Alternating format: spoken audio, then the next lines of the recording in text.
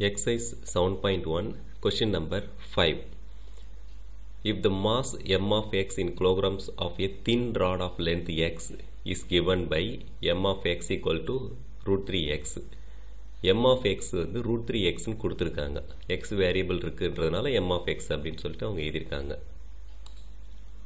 what is the rate of change of mass with respect to length லென்த்துன்றது தான் இங்கே எக்ஸுன்ற வேரியபிளில் கொடுத்துருக்காங்க கடைசி எக்ஸ் ஈக்குவல் டு த்ரீயாக இருக்கும்போது அதனோட வேல்யூஸ் என்ன? எக்ஸ் ஈக்குவல் டு டுவெண்ட்டி செவனாக இருக்கும்போது அதனோட வேல்யூ என்னன்னு சொல்லி கேட்டிருக்காங்க. ஸோ தமிழ்லேயே உங்களுக்கு அந்த கொஷின்ஸ் கொடுத்துருக்கேன். எக்ஸ் நீளம் உள்ள ஒரு மெல்லிய கோழி நிறை M of X equal to root of three எக்ஸ்னு கொடுத்துருக்காங்க.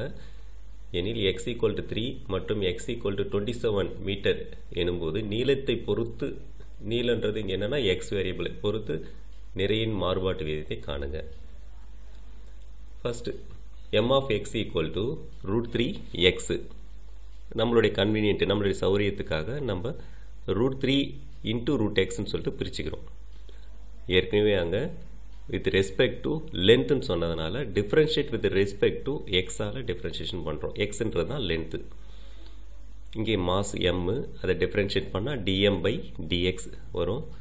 இங்கே ரூட் த்ரீன்றது கான்ஸ்டன்ட்டு அதனால் அப்படியே எழுதிக்கலாம் ரூட் எக்ஸை டிஃப்ரென்ஷியேட் பண்ணும்போது one by two root X கிடைக்கும். Root three by two constant தனியாக எழுதிக்கிட்டு இன்ட்டு ஒன் பை ரூட் எக்ஸை தனியாக எழுதுகிறோம் ஸோ இந்த டேர்மை தான் நம்ம அதை சிம்பிளிஃபை பண்ணி root three by two into one by root எக்ஸ்ன்னு சொல்லிட்டு எழுதுகிறோம் நெக்ஸ்ட்டு இது டிஃப்ரென்ஷியேட் பண்ண value root three by two into one by root எக்ஸ்ன்றதான் differentiate பண்ண வேல்யூ கொஷினில் வந்து எக்ஸ் ஈக்குவல் டு த்ரீ இருக்கும்போது அதனுடைய சேஞ்சஸ் எப்படி இருக்குன்னு கேட்குறாங்க அப்போது எக்ஸ் ஈக்குவல் டு த்ரீ அப்படின்ற வேல்யூ நம்ம சப்ஸ்டிட் பண்ணணும். இங்கே ரூட் எக்ஸுக்கு பதிலாக எக்ஸ் இருக்கிற இடத்துல த்ரீ சப்ஸ்டிட் பண்ணுறோம் root three by two into one by root three root three root த்ரீயும் கேன்சல் ஆகிடுது அப்போ நம்மளுக்கு வந்து one by two kilogram per metre கிடைக்குது. இந்த யூனிட் எப்படி எழுதுறது அப்படின்னு உங்களுக்கு டவுட் இருந்துச்சுன்னா டிஎம்ன்றது அது ஒரு வகையான மாஸ் அதனால் அதனுடைய யூனிட் கிலோகிராமு டிஎக்ஸ்ன்றது ஒரு லென்த்து அதனுடைய யூனிட் வந்து மீட்டர் அதனால் கிலோகிராம் பர் மீட்டர் அப்படின்றத நம்ம எழுதுகிறோம் next X equal to twenty செவனாக இருக்கும்போது அதனுடைய சேஞ்சஸ் எப்படின்னு கேட்டிருக்காங்க. இப்போ எக்ஸ் இருக்கிற இடத்துல நம்ம வந்து டுவெண்ட்டி செவனை வந்து சப்ஸ்டிட் பண்ணணும்.